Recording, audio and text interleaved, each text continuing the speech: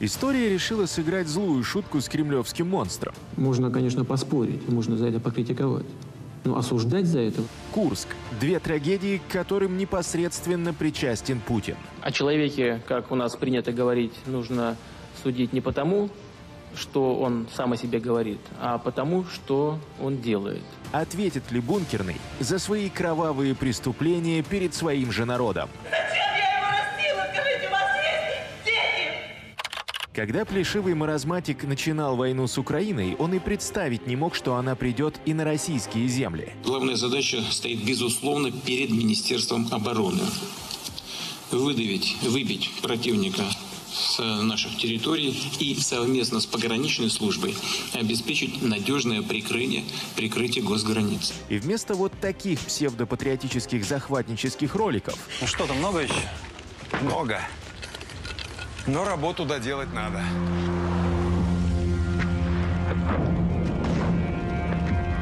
И вот после такой зомбонакрутки россияне будут смотреть на такие совсем не постановочные, а очень реальные кадры, только уже с украинскими военными на своей земле.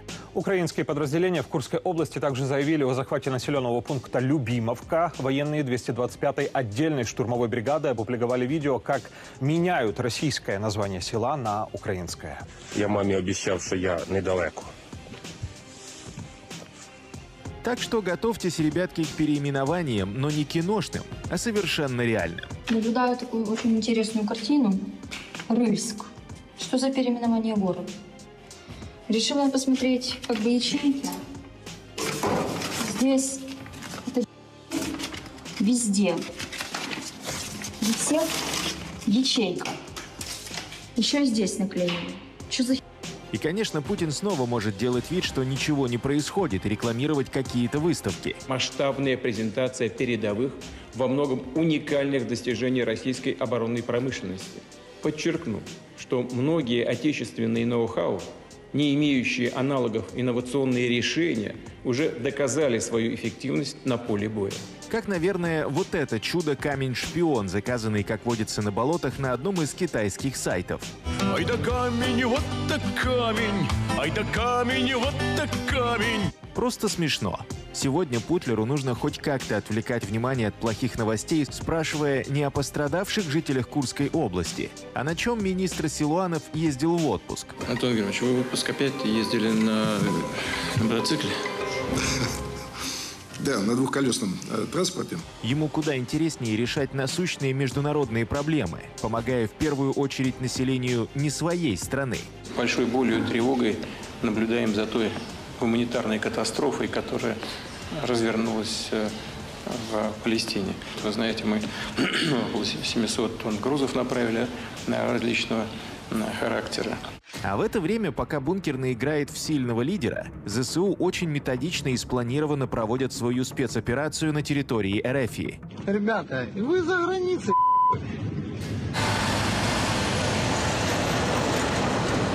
Заходят вглубь Курской области, берут пленных, Контроль. Контроль. Не спешим под одну решереночку идем. Аккуратно. И не только срочников и чмобиков, а и недовояк самого Дондона. Ти откуда? Грозный. А? Грозний? Грозный. Ахмат? Да. В то время как ИО губернатора Курской области пытается донести более-менее правдивую картину происходящего, бункерный не выдерживает и по привычной тактике затыкает ему рот. Глубина проникновения на территорию Курской области составляет 12 километров. Ширина по фронту 40 километров. Ну, это, нам, Оккупация во- находится. это, э, послушайте, Алексей Борисович, это военное ведомство вам доложит, какая там ширина и глубина. Вы расскажите нам про социально-экономическую ситуацию и о помощи людям. А можно мы это лучше покажем, чтобы нагляднее, так сказать, понять весь уровень рашистского фашизма и отношение к своим же, которых они якобы не бросают. Не спасал, люди сами спасались. Эти твари администрации врут себе медали вешают. Люди сами спасались. Сами. И вот чтобы таких видео было поменьше на просторах интернета, Мы остались с детьми, без крова, без выплат, без денег. Мы уехали в чем могли. У нас дети боятся ночью спать. параллельно объявляется война всем Z-патриотам и военблогерам по совместительству, желающим как бы вразумить бункерного и показать народу Эрефии сермяжную правду и что происходит на самом деле. Такой блогерский генштаб, военблогерско-мародерский генштаб, который сидит и раздает указания. Эти люди постоянно показывают наши неудачи, например, они есть. Радостно всегда нам это предоставляют. И, о чудо, в считанные секунды эти еще совсем недавно типа герои пропаганды становятся предателями Родины, которых срочно надо запретить. Они вам покажут трупы наших бойцов и скажут, а это потому, что вы нам денежки не шлете. Не читайте вы их а читайте официальные сводки. Право, монополия тотальная на информацию с фронтов должна принадлежать только Министерству обороны. Ни одна вот эта военблогерская дрянь. А в это время в Курской области эвакуация населения не проводится. Люди брошены и предоставлены сами себе. Тем, кто не смог выехать самостоятельно, помогают, чем могут наши украинские военные. Сын, детка. Кто? Путін? О, сукин син, що він наробив, дітка? Що, Ну нічого, все буде добре. що б ти на, на дітей Все буде добре. побачив? Вам ще жити і жити. Голова села теж втік. А потікали всі. А, а бросили мене як нестужну. Теперь население болот, наверное, в более полной мере ощутило все тяготы войны, которую начал Путин. Друзья, у нас самый крупный пункт выдачи гуманитарной помощи в нашем городе. Катастрофически не хватает продуктов питания, бытовой химии, постельных принадлежностей. Не такого уж точно ожидали пропагандисты и их диванные вояки. Стоит отметить, что продвижение ВСУ на территорию России началось 6 августа, практически за неделю до 24-й годовщины гибели подлодки «Курск». Вот как эту трагедию 20 с лишним лет назад описал сам Путин. Она утонула. Курск – две трагедии с разницей в 24 года, к которым лично причастен Путин. Тогда, после гибели подводной лодки «Курск», ВВХ вышел сухим из воды. Откупился и даже смог снова влюбить в себя родственников погибших моряков. Огромнейшее вам спасибо за память о наших детях. Мы вот просто у нас слов нет передать нам вашу благодарность. Но давайте чуть отмотаем пленку назад. Это произошло еще в далеком 2000-м. Трагедия подлодки «Курск» очень ударила по имиджу и репутации Плешивого, который после случившейся катастрофы не спешил приостанавливать свой отпуск и принимать иностранную помощь для спасения затонувших моряков. Сколько это может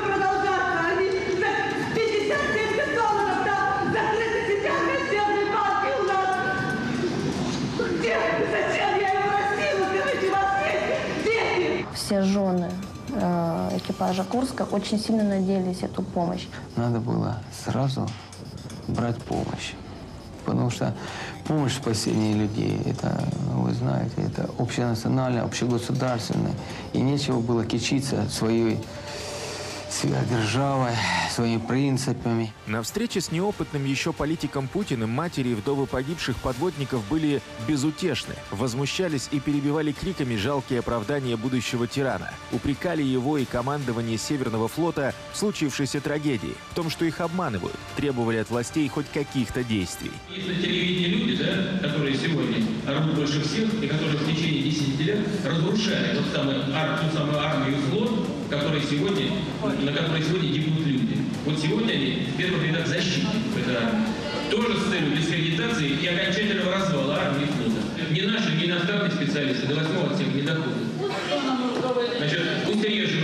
Я, я так и сказал сегодня. Я, я им так и сказал. Режьте. Народ нужно было как-то утихомирить, и до ВВХ дошло, как это сделать. Он понял, что людям нужно просто хорошо заплатить. Сосредоточьте внимание. Я говорю о том, что мы возьмем среднюю заработную плату офицера, подчеркиваю, офицера, и выплатим всем семьям без исключения, в том числе рядовым матросам, в сумме за 10 лет вперед. Понимаете, о чем я говорю? Не 3 тысячи, а 3 тысячи, умноженные на 12 месяцев и на 10 лет. И возмущение родственников дивным образом мгновенно подутихли. Встреча продолжалась 2 часа 40 минут. Он ушел с нее президентом этого народа, который только что готов был разорвать его. На следующий день все родственники уже писали заявление с просьбой о материальной суде в размере среднего оклада офицера за 10 лет. Да, родные моряков с Курска оказались своего рода в привилегированном положении. Курск был далеко не первой затонувшей лодкой в РФ. Но прежде государство не оказывало материальной помощи ни одной семье погибшего подводника. Родственники моряков с Курска первыми в российской истории получили материальную компенсацию. Государство предоставило семьям 118 погибших подводников квартиры и компенсации 720 тысяч рублей плюс военная страховка. Вот именно в тот момент кремлевский дьявол осознал и усвоил самое главное. Любое горе в его стране имеет свою цену. Любая память имеет свой денежный эквивалент. Он понял, как правильно покупать души своих граждан. Идею ему, между прочим, подарила одна из вдов подводников Курска. Разговаривая с Кураедовым, это у нас командующий военно-морским флотом, я ему сказала, что вот у меня муж пошел на повышение. То есть он бы был капитаном первого ранга. И мы собирались служить еще 10 лет. И вот я ему сказала, что дайте мне теперь мою зарплату моего мужа за 10 лет. И он напрямую передал эту информацию Путину. И Путин дал мне эту зарплату. И он дал всему экипажу зарплату моего мужа. К сожалению, я не могу отделаться от мысли, что власть откупается от подводников. Это у тогда еще оппозиционного журналиста Доренко возникли мысли о том, что Путин просто покупает родственников погибших моряков. А вот вдове, сподвигшей президента на приятные денежные подарки, совершенно не показалось, что ее хотят подкупить. Нет, я так не считаю, потому что я попросила. Я попросила, и мне дали то, что попросила я. Так что все получили то, что пожелали, как бы печально это ни звучало. 24 роки тому була катастрофа в Курську. Символічний початок його правління. А зараз видно, що є фіналом для нього. І теж Курськ. Катастрофа його війни. Сегодня весь мир наблюдает, как война, которую начал Путин на территории Украины, пришла к россиянам. Он вроде бы уже знает, что делать. Запретить СМИ, в данном случае Z-паблики, потому что свободной прессы в РФ нет уже давно. Продолжать плодить фейки. Ну и постараться купить население. Хотя вот с этим у Кремля могут быть проблемы. Ведь сегодня все деньги идут на выплаты военным. Сегодня, подписав контракт, каждый солдат получает 195 тысяч рублей от федеральных властей, 200 тысяч рублей за службу в именных подразделениях Краснодарского края и миллион рублей от региона. Суммы невероятные, и даже при этом россияне не особо спешат записываться и становиться кремлевским мясом. Ведь сегодня они, наверное, понемногу уже начинают прозревать и понимать, что их кинули. Всех нас бросили. Наша голова сволочь, скотина самая настоящая. Куда она делась, мы не знаем. Идиотка. Как когда-то бросили и подводников, которые стучали из отсеков подлодки «Курск» в надежде, что их спасут. Стуки из э, подводной лодки, стучал девятый отсек, ребята из девятого отсека, они продолжались до э, середины дня 14 августа. То есть двое То есть суток. двое с половиной суток, да. Английские и норвежские водолазы открывают люк всего за 25 минут, тогда как российские власти утверждали, что его заклинило. Жуткий цинизм. Но в данной ситуации бросили не только подводников, бросили их матерей, жен и детей, которые буквально в прямом эфире наблюдали за смертью своих близких и до последнего верили, что страна придет на помощь. Но они ошиблись. У нас же в России так утонул и все, пропал. Почему правду не говорят? Так что виновных нет. Точнее, они есть, но правосудия в этой ужасающей стране для них пока не будет, считает адвокат Борис Кузнецов, который в течение долгих лет вел дела 55 семей погибших подводников. Говорил, девочки, мы найдем, кто виновен. Они будут отвечать за это. Но вмешался Путин, и никто за это не ответил. В общей сложности 30 тысяч долларов. Почти как 30 серебряников получили семьи погибших моряков. Для того, чтобы навсегда утопить свое горе в глубинах Баренцева моря. Я не знаю, но они будут служить. Испытывают нас, да. А вот дайте мы еще вот, ну не как в том анекдоте, да, дайте еще вот это сделаем. Смотрите-ка, выжили, да? Путин вошел во вкус, принял правила игры и не отступает от них и по сей день. Но сможет ли кремлевский упырь помочь всем тем пострадавшим в Курской области? Но это страшно так, что это не рассказать, как это страшно. Блять, автоматы, солдаты валяются, ебаный в рот, блять. И Кремль будет снова врать про Курск. Продвижение противника вглубь территории на Курском направлении остановлено. Все повторяется, как и 24 года назад. Путин не думает про людей. Ему важно быть самому на плаву. А что будет с тонущим кораблем и судьба бедолаг на борту капитана совсем не интересует. Кремлевский упырь тянет Россию на дно. Давно и планомерно. И этот процесс уже не остановить. Мы искренне благодарны каждому, кто поддерживает команды гражданской обороны и антизомби в противостоянии кремлевской пропаганде. Список спонсоров и патронов этой недели вы видите на экране. Вместе мы сила, друзья. Все будет Украина.